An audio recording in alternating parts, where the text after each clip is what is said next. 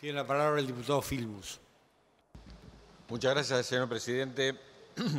ya lo han dicho los diputados de nuestro bloque preopinantes, que nosotros vamos a acompañar en general el proyecto y quería enfatizar la razón por la cual vamos a acompañar en general el proyecto. Lo vamos a hacer para que la sociedad tome cuenta de que todos los diputados de todas las fuerzas políticas de todo el país estamos dispuestos a dar la pelea para que no haya más violencia en el fútbol y para que no haya más barras bravas.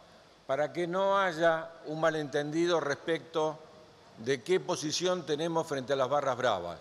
Y lo decimos, como han señalado mis compañeros anteriormente, a pesar de que nosotros creemos que este no es el proyecto que resuelve este tema de fondo.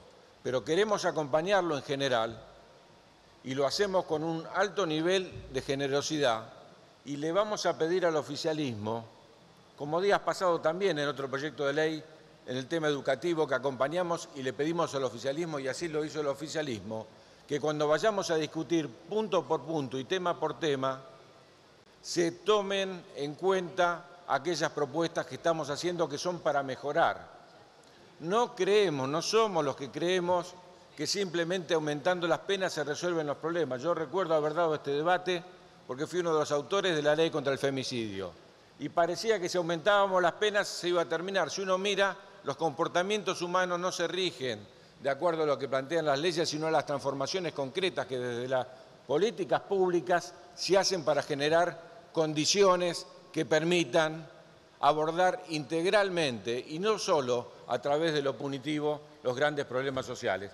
Decía recién el diputado Grana la cantidad de actores que intervienen para que haya violencia en el fútbol y para que haya para bravas. Obligatoriamente tienen que estar los dirigentes del fútbol, tiene que haber dirigentes políticos, tiene que haber sectores de la seguridad, sectores de la justicia, a veces sectores de empresas que están incluidos en este tema. Necesitamos, y lo vinimos haciendo, convocarlos a todos para hacer un debate profundo y tener una ley de fondo. Si hoy no logramos que nuestros temas muy vinculados a la prevención sean incluidos. Retomaremos este tema una y otra vez, lo haremos con todos los sectores que deben participar, porque si no es entre todos, esto no se va a resolver. No nos podemos ir tranquilos a casa porque el titular del diario de mañana sea se aprobó la ley contra los barras bravas. Primer partido del próximo campeonato vamos a tener el mismo problema, si no ya podríamos tener visitantes desde el primer partido. No lo vamos a tener porque los problemas son de fondo, son sociales, son más profundos y están involucrados actores muy diversos. Digo esto porque tiene que haber mucha voluntad política de quienes conducen el Estado, de quienes conducen la nación, de quienes conducen la justicia y la fuerza de seguridad para que esto se lleve adelante. Nosotros votamos en la ciudad de Buenos Aires la ley 5.847.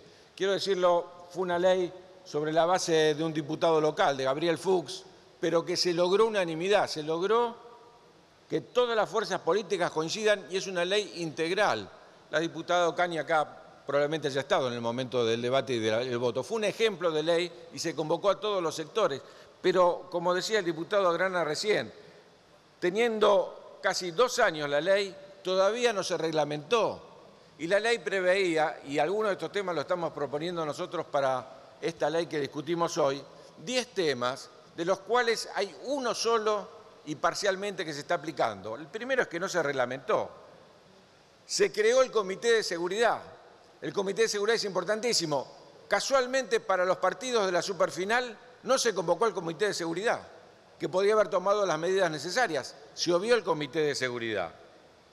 Se, se creó una unidad ejecutora para los estadios que pudiera definir las condiciones de cada estadio. No se cumplió, está en la ley, no se creó ni una sola unidad ejecutora. Se pidió una base de antecedentes de violencia para dar derecho de admisión. Esa base sería fundamental. La base no está funcionando todavía. Podía haber funcionado el día del partido del, Superclásico y como no está la base, el otro punto, que es el derecho a admisión, tampoco está funcionando. Se dio lugar a una nueva reglamentación respecto de la infraestructura y no se pudo evaluar esa reglamentación en ningún solo estadio, ni uno está completamente de acuerdo a las nuevas normas que se establecieron. Se propuso, como estamos proponiendo también nosotros acá, que se genere responsable de seguridad por cada uno de los estadios. No se designó responsable de seguridad en ninguno de los estadios. Tema imprescindible, que el otro día también hubiera resuelto esta cuestión. Se propuso y se le dio para la reglamentación la creación al Ejecutivo de un protocolo de acción de las fuerzas de seguridad, en particular de la policía. Ese protocolo todavía a dos años no existe. ¿Cómo tiene que actuar la policía? El otro día hubiera habido un protocolo y claramente se podía haber cumplido y evitado este problema. Y por último, ni siquiera se resolvió un tema básico que ya lo discutimos muchas veces, que es que el 75% de las graderías en los estadios tiene que ser con asiento y solamente el 25% para personas paradas. Ni siquiera ese tema tan básico y tan fácil de controlar está puesto adelante. Termino pidiéndole, con la buena voluntad que tiene eh, seguramente el bloque oficialista, de integrar aquellas cosas que mejoren. Algunas se han integrado no hubo tiempo para el debate.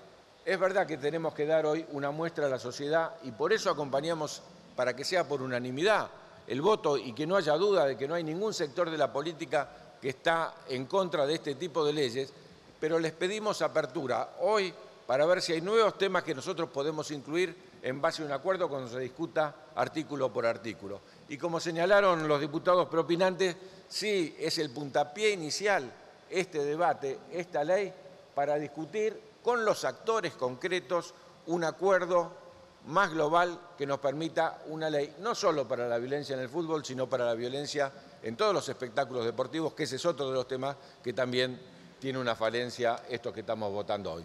Muchas gracias, señor presidente. Gracias, diputado.